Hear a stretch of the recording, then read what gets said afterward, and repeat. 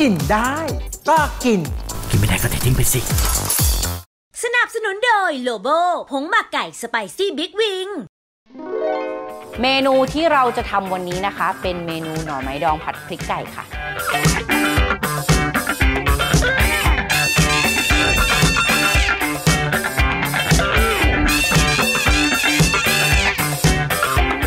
ระทะของเราจนร้อนนะคะ จากนั้นใส่น้ำมันลงไป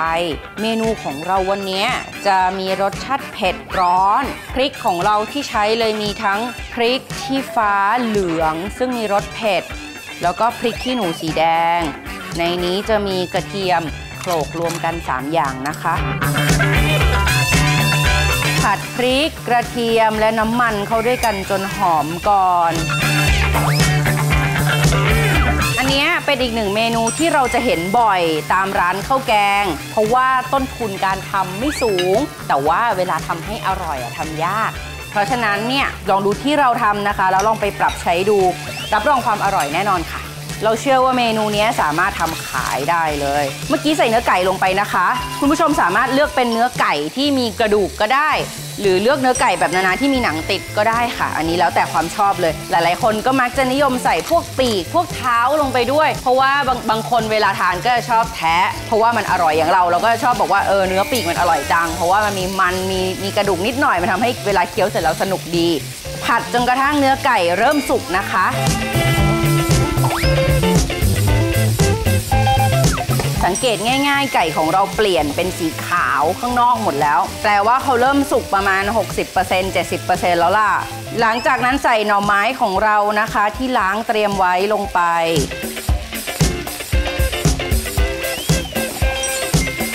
ทิ้งในกระทะให้หน่อไม้โดนความร้อนจัดๆก่อน แล้วค่อยปรุงรสนะคะ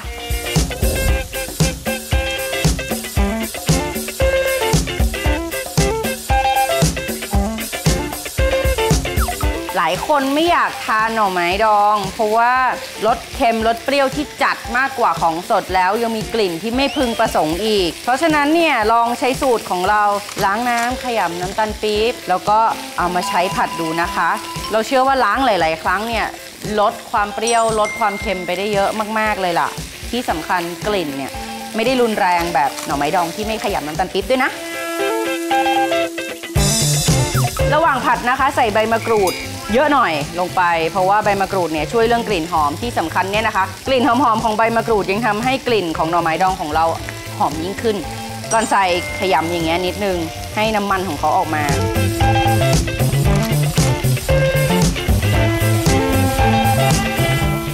จากนั้นเริ่มปรุงรสนะคะ ใช้น้ำตาลปี๊บค่ะ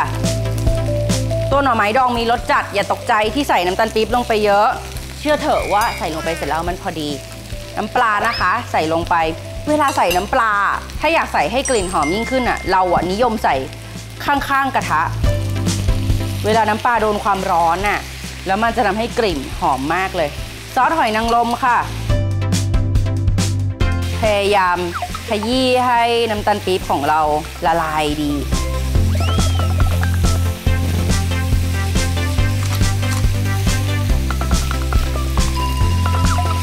อเราเห็นว่าหน่อไม้ของเราเริ่มได้ที่แล้วนะคะ เราใส่ใบโหระพาของเราที่เด็ดแล้วล้างน้ำให้สะอาดแล้วลงไป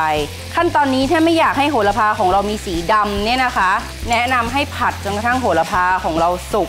แล้วฟุบดี ไม่เช่นนั้นแล้วเนี่ยเวลายกขึ้นมาจากเตาอะโหระพาของเราจะมีสีดำแล้วก็ไม่น่ารับประทาน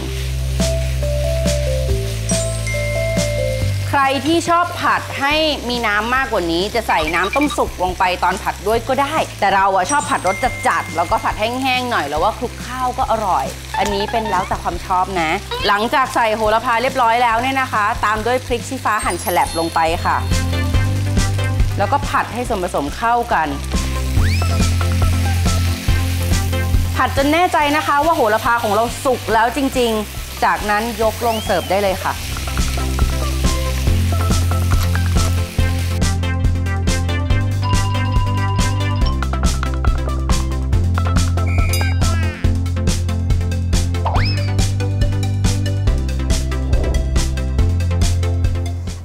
สำหรับเสิร์ฟในร้าน แต่ถ้าเกิดว่าคุณตักขายเนี่ยคุณไม่จำเป็นต้องวางก็ได้ เพราะว่าถ้าเกิดว่าวางโหระพาสดลงไปแล้วเนี่ย มันจะมีสีดำแต่ว่าอันนี้เพื่อความสวยงามค่ะ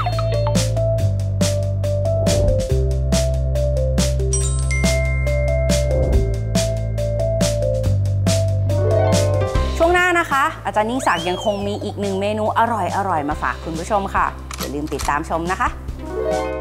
คุณแม่เราเคยสอนว่ามูลข้าวเหนียวให้อร่อย ปริมาณน้ำกะทิพอท่วมข้าวเหนียว แล้วประเดี๋ยวจะพอดีเนี่ยเห็นไหม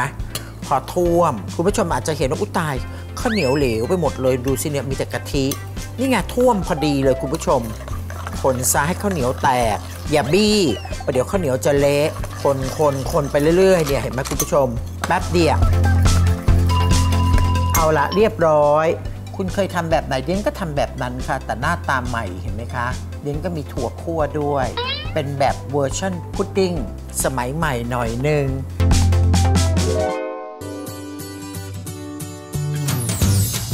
ช่วงอร่อยคู่ครัว สนับสนุนโดยเครื่องครัวสแตนเลสตราหัวม้าลาย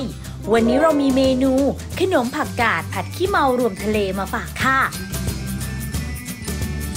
ใส่น้ำมันพืชลงในกระทะไวทะลัก 3 ชั้น 28เซนติเมตร ทรงลึก IS ด้ามและหูเบกาไลท์ราหัวมะลาย ที่กระจายความร้อนได้เร็วและทำความสะอาดได้ง่าย ตั้งไฟพอร้อนนำขนมผักกาดลงทอด ให้มีสีเหลืองทองทั่วทั้งชิ้นแล้วตักขึ้น หั่นเป็นชิ้นเตรียมไว้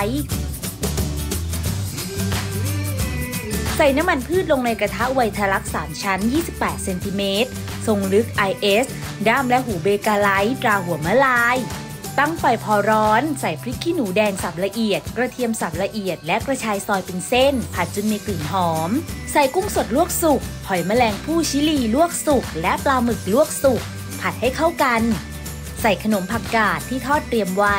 ปรุงรสด้วยน้ำปลา น้ำตาลทราย น้ำพริกเผา ผัดให้เข้ากันใส่พริกไทยสด พริกชี้ฟ้าสามสีหั่นแฉลบ และใบโหระพา ผัดให้เข้ากันแล้วปิดไฟ ตักใส่ภาชนะเสิร์ฟ ตกแต่งด้วยช่อโหระพา พร้อมรับประทาน ไม่ว่าจะทำเมนูอะไรก็ไม่ใช่เรื่องยากอีกต่อไป เพียงแค่มีเครื่องครัวสแตนเลสตราหัวมะลาย